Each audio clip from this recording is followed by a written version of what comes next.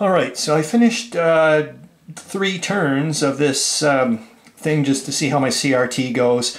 And okay, so the brownish um, guys are just three different German armies, and I wanted to keep the command and control that way. Like I said, no transfer of supply or troops, and just see how it goes. Um, and then the bluish uh, ones are the Brits. Um, and yes, it was unbalanced in the sense that I was setting it up more or less the way it is in Verdun here.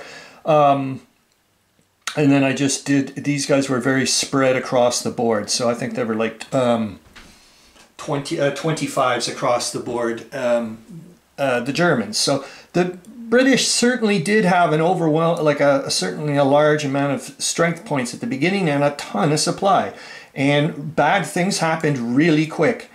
So they had a three uh, three pronged attack on Loos here, um, and with 139 strength points, and they obliterated. Uh, they did uh, 33 hits, I think, something in, something monstrous.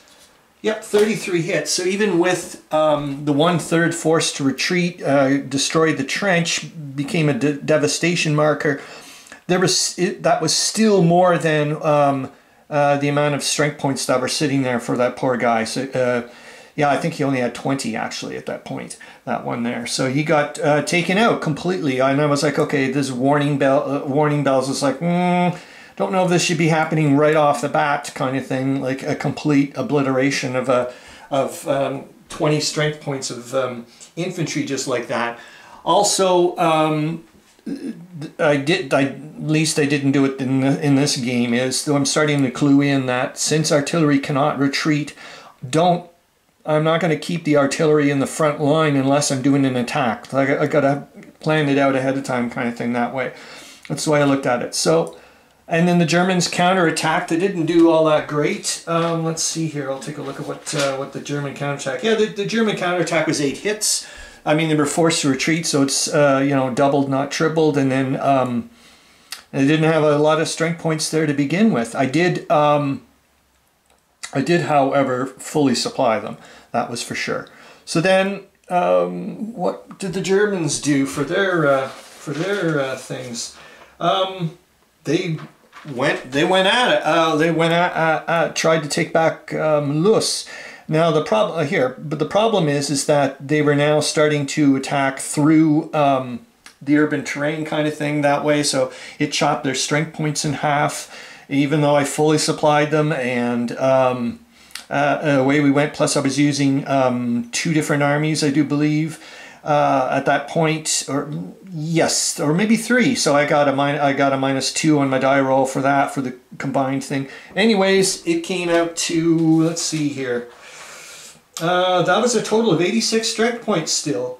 Um, and but uh, I was only able to do nine hits, so the uh, the British were not forced to retreat. And as you can see, what ended up happening is that the next then the next one they took they took Lens as well with overwhelming force. And now just with the sheer number of strength points, I and the G Germans have been trying to whittle this guy away, but it's just not uh, not in the cards anymore. And like I said, since uh, ba basically there's only one supply point left here, um, you can't. No one can supply their artillery, and it's uh, remember it's it's an absolute. You got a full on supply for artillery. So I just removed everybody, uh, removed them all to the back. But after three turns, I'm going to go and digest some stuff for a little while. It's pretty vicious.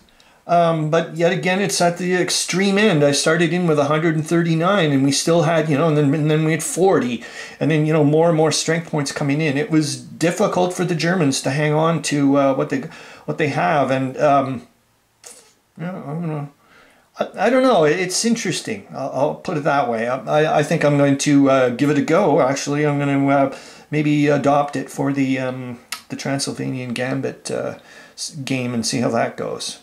Why not? Well, I'm not going to have these extremes anyways of like 139 strength points for those guys there. But uh, this is uh, interesting. It was interesting. Yeah. All right. Hope you're having fun. See ya.